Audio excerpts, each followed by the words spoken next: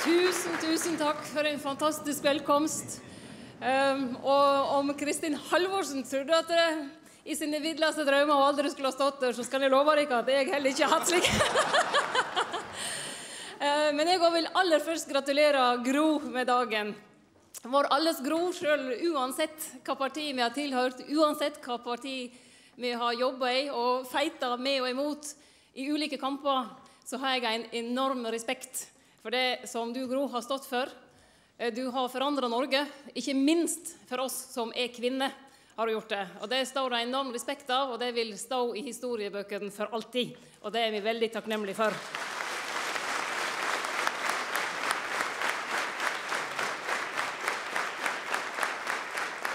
Og så er jeg selvsagt stolt over å være den første Senterpartilederen som hilser et Arbeiderpartilandsmøte. Sammen har vi tatt landet i en ny retning, folkens. I det samarbeidet som har pågått i snart fire år, har vi visst at eh, den retningen som forrige regjering la ut på, var feil. Nå har hele verden visst det i forhold til den finanskrisa som går, men vi har visst det for Norge.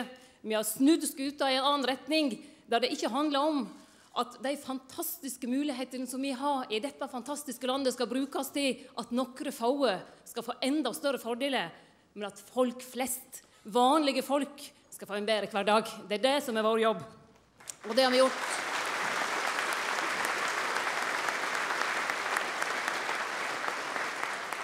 Vi bruker muligheten til å skape vekst og utvikling i hele landet.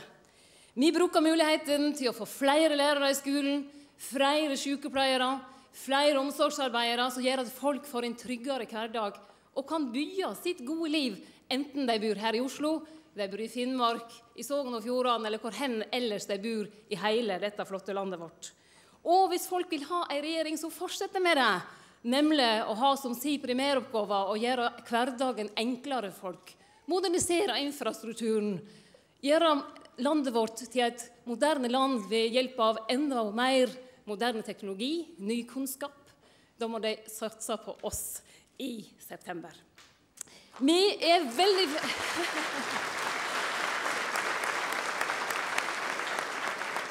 Fordi vi har fått til mye, men vi vil ha mer.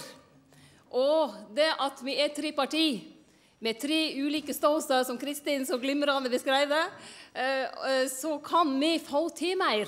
Og vi har visst at vi evner å løfte i flokk. Vi har visst at selv om vi nå går ut fra tre landsmøter med noen ulike program, ja, så vet vi at vi vil finne de gode kompromissene som til sammen kan faktisk bli bedre enn enkeltstandpunktene som vi har i våre program. Tøft å innrømme det, men sånn kan det av og til være.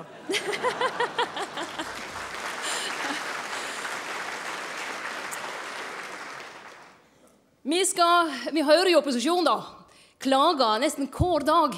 Alt er gale. Og vet du hva de sier? Jo, de vil ha mer rød-grønn politikk. Og jeg skal love deg én ting, jeg. De skal få mer både før og etter vi har vunnet valget til høsten.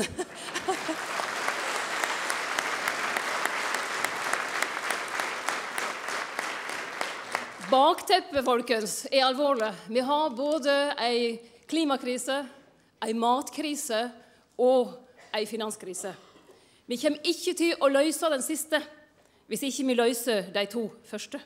Finanskrisa kan bare løses gjennom at vi finner løsninger på òg de globale utfordringene på fordeling og miljø.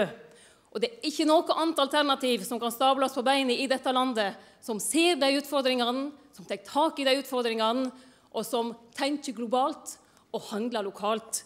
Og som vil sikre både vekst og utvikling og arbeidsplasser i hele landet. Jeg gleder meg til å gå ut i valgkampen sammen med dere. Side by side skal vi vinne valget. Lykke til med landsmøtet!